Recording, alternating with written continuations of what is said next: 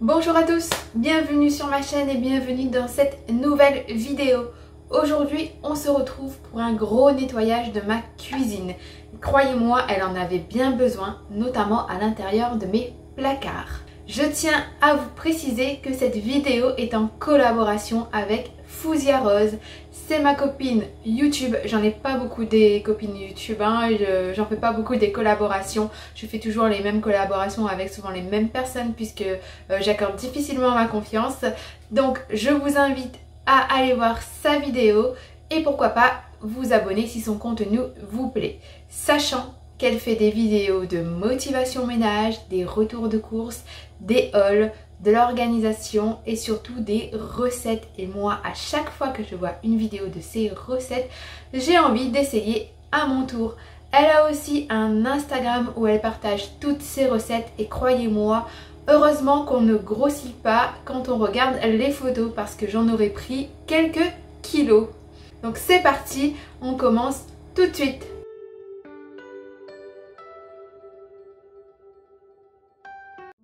Quand je fais le gros nettoyage de euh, ma cuisine, je fais aussi un gros nettoyage au niveau des électroménagers. Donc ce que j'ai fait là, c'est que je vais nettoyer mon lave-vaisselle. Donc j'ai enlevé le filtre, je lave au liquide vaisselle et à la main. Donc euh, des fois j'arrive à enlever euh, bien comme il faut le filtre, des fois non. Hein. J'ai pas encore trop compris le truc, même si ça fait pas longtemps que j'ai mon lave-vaisselle et je vais continuer à nettoyer l'intérieur avec le vinaigre ménager euh, à la menthe de chez Action. Ensuite, je vais vider une bouteille de 1 litre de vinaigre blanc à l'intérieur et je vais lancer un cycle de lavage d'une heure à 65 degrés. Je tiens à préciser tout de même que mon lave-vaisselle, je le lave, j'essaie du moins de le laver une fois par semaine parce qu'il s'encrasse facilement, même si on enlève euh, les restes de nourriture et qu'on rince bien les assiettes avant de les mettre au lave-vaisselle. Et comme vous pouvez le voir, une heure après, il est nickel. Je commence à nettoyer l'intérieur de mon placard. Là, c'est la partie de mon garde-manger avec mon aspirateur Dyson V6 Animal et euh, le dégraissant euh, de chez Action, toujours de la même marque que mon vinaigre. Il s'agit du spray dégraissant euh, Mariette. J'ai aussi dans mon cellier une partie où je mets tout mon garde-manger qui n'est pas ouvert, notamment de l'eau, les bouteilles de lait et tout mon petit stock. Je vous mets dans le petit et en barre de description toutes les infos concernant cette vidéo si vous ne l'avez pas encore vue. J'en ai profité aussi pour remplir les bocaux qui n'étaient pas totalement pleins. Et je poursuis avec la partie du bas qui est tout ce qui concerne le sucré.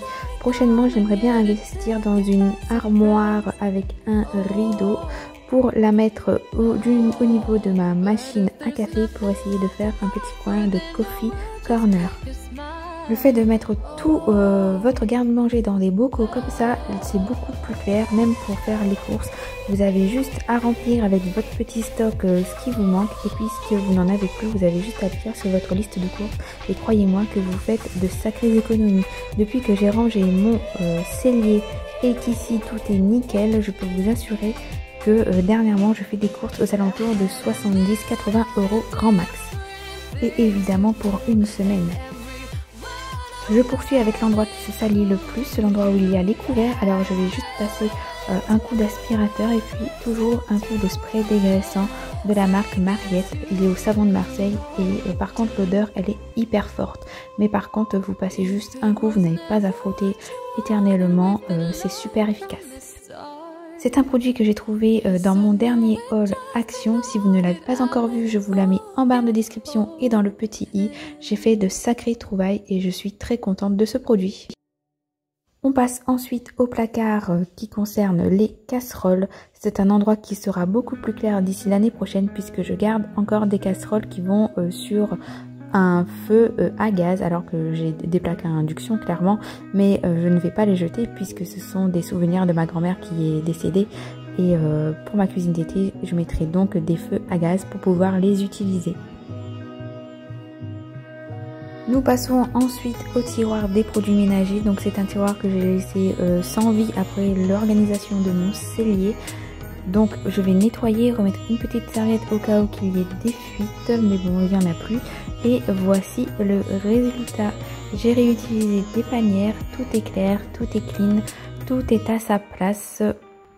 Et il y a ici tous les produits que j'utilise au quotidien.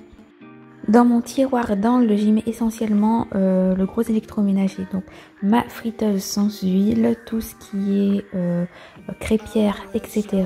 Euh, donc on va juste tout enlever, nettoyer et tout remettre à sa place.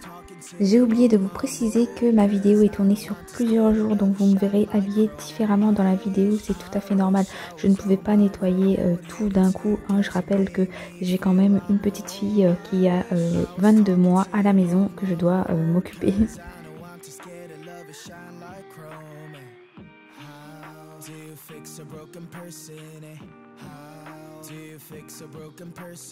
Dans ce tiroir-ci, il y a tout ce que j'utilise pour la cuisine, toutes les grosses cuillères, les cuillères à riz, les cuillères à pâte, tout ce qui concerne la cuisine de manière, euh, de façon générale, on va dire. Donc voilà, il suffit de tout enlever, un coup d'aspirateur, un coup de produit et on remet tout à sa place aussi.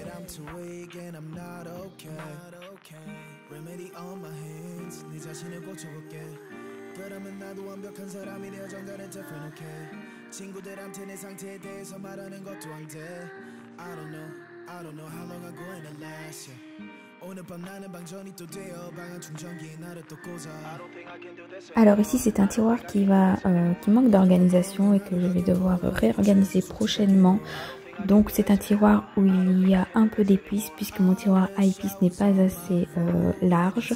C'est l'erreur que j'ai fait, j'ai pris un petit tiroir à épices alors que j'aurais dû en prendre un. Donc euh, voilà, c'est un tiroir que je vais ranger prochainement. Donc j'y mets mes torchons, euh, des petits appareils d'électroménager, rien de foufou. Dans le tiroir du bas, il y a les casseroles, les poêles et puis tout ce qui concerne les accessoires de mon Magimix.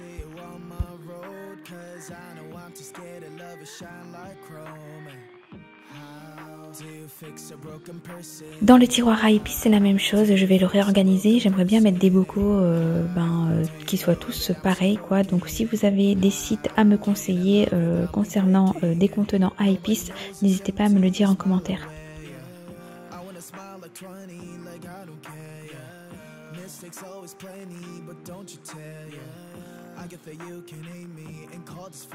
Ce tiroir-ci manque aussi d'organisation. J'aimerais bien trouver une organisation pour tous mes tupperwares. Et j'y mets aussi mes plats euh, qui vont au four. Donc si vous avez euh, décidé d'organisation pour les tupperwares, je suis aussi preneuse.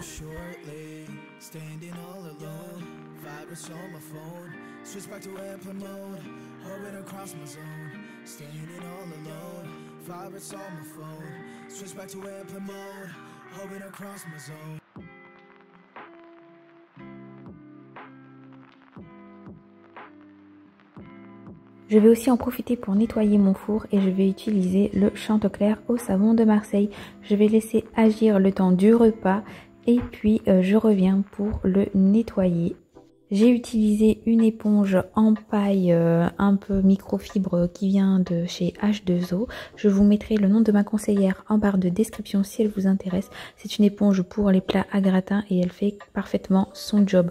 Je viens ensuite essuyer avec une microfibre et euh, c'est tout.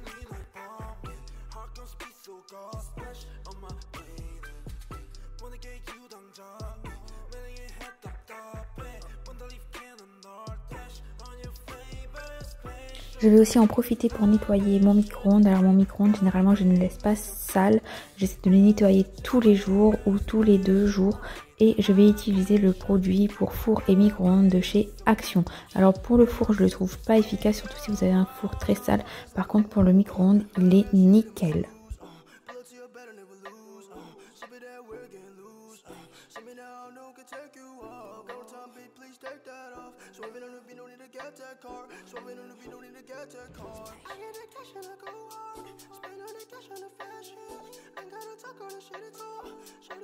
Je vais ensuite déplacer mon four pour nettoyer euh, ben, derrière. Hein, et puis je vais le replacer tout simplement et je vais m'attaquer au euh, meuble du haut.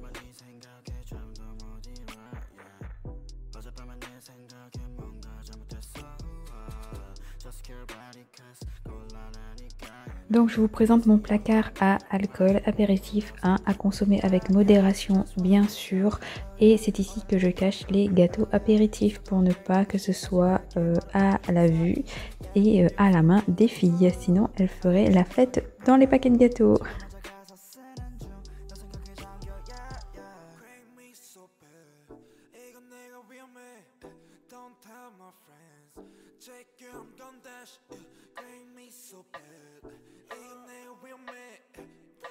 Si vous avez Instagram, n'hésitez pas à me suivre sur mon compte. J'y partage tout mon quotidien de maman et j'y mets mes petites photos quand on part en vacances, en vadrouille. Et euh, voilà, c'est un endroit où euh, je partage avec spontanéité.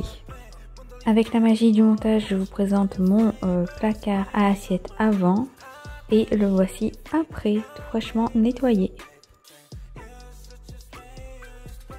On va passer ensuite à la partie où je stocke les verres et je vais faire un peu de désencombrement.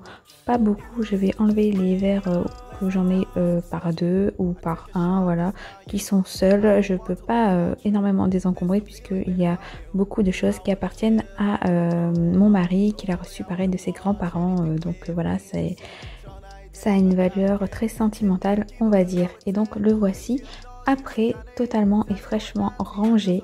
Et je vais vous montrer des verres que j'ai enlevés. J'en ai enlevé 7 euh, au total. Voilà c'est des verres euh, il y en avait 2 2 et c'est déjà pas mal par rapport à la dernière fois où je n'avais rien enlevé. Je vais m'attaquer ensuite à tout le haut de mon armoire. Alors moi l'astuce c'est que j'y mets du papier essuie-tout afin d'éviter qu'il y ait de la graisse dessus et c'est plus facile à nettoyer. Vous pouvez aussi opter pour euh, un morceau de nappe cirée mais moi j'en ai pas et euh, j'en ai pas racheté. Du coup euh, voilà moi mon option à moi c'est de l'essuie-tout même si je sais que ce n'est pas très écologique.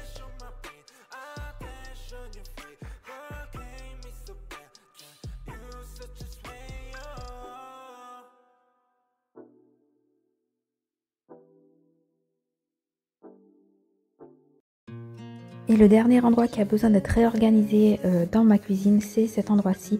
Donc c'est une niche, une double niche. Dans un premier euh, petit carré, je mets tous mes livres de recettes. Et il y a pas mal de conneries qui euh, s'y trouvent aussi, telles que des jouets de mes filles. Et de l'autre côté, il y a tout ce qui est créativité et qui appartient aussi à mes filles.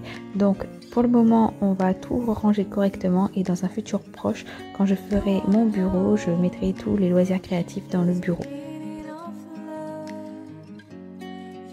Une fois que tout est fait, je vais m'attaquer à la VMC, je vais l'enlever, je vais aussi la nettoyer avec ma du liquide vaisselle tout simplement, je vais l'essuyer et bien évidemment la replacer.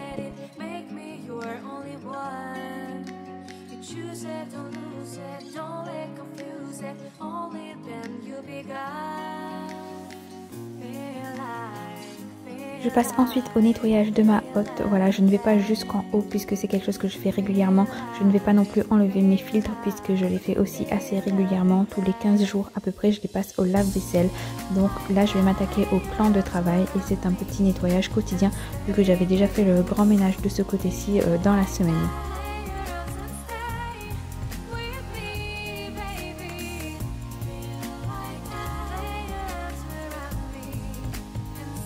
J'avais déjà fait une vidéo très complète sur un ménage extrême de ma cuisine, donc je vous mets la vidéo en petit i et en barre de description si vous ne l'avez pas encore vue. Je continue mon petit nettoyage avec le dégraissant au savon de Marseille de la marque Mariette trouvé chez Action. D'ailleurs je n'ai utilisé que ce produit pour nettoyer toute ma cuisine.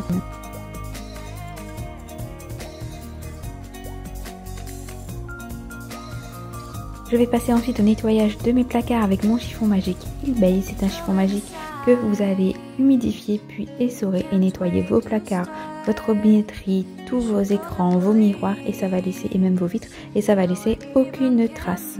J'en profite également pour passer un grand coup sur les plaintes. Concernant le frigo et euh, le lave-vaisselle, je ne vais pas les déplacer, je les déplace assez régulièrement pour faire les poussières au-dessus et derrière. Voilà, c'est pas quelque chose, je n'attends pas que ça tombe en panne pour les déplacer, c'est quelque chose que je fais généralement euh, très régulièrement euh, dès que j'ai euh, pas mal de temps devant moi. Je nettoie bien évidemment tous mes tabourets de bar puisque avec les enfants ça se lasse hyper vite. et c'est toujours avec mon chiffon magique Heal Base, ça ne laisse aucune trace et ça efface toutes les traces de doigts, de nourriture, de graisse, etc.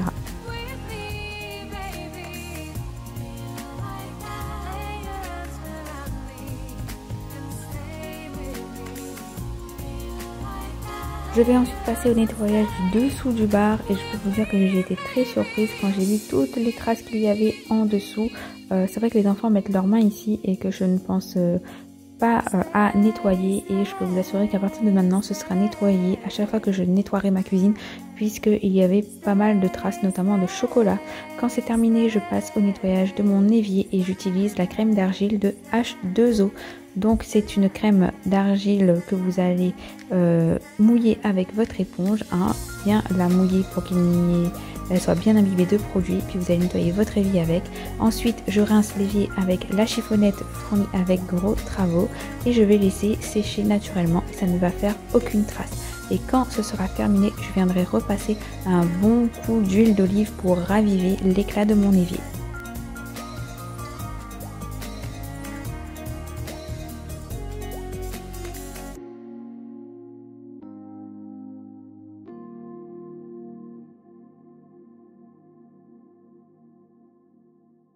Une fois que c'est fait, je vais passer un bon coup d'aspirateur. Donc là, c'est mon aspirateur Ultenic U10. Je vais passer un bon coup d'aspirateur du coup partout dans la maison. Et je vais passer un bon coup de serpillière aussi.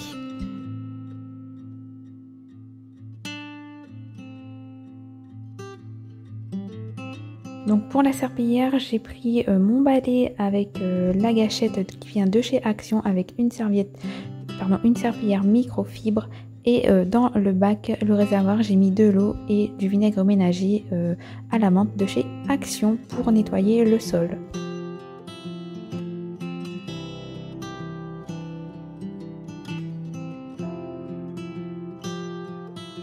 Et voilà le résultat, ma cuisine est toute propre. Si vous avez besoin d'informations complémentaires, n'hésitez pas à aller en barre de description où je vous mets toutes les infos dont vous avez besoin. Donc la vidéo est terminée, j'espère qu'elle vous a plu. Moi en tout cas je suis très contente comme je vous l'ai dit euh, dans la vidéo en voix off.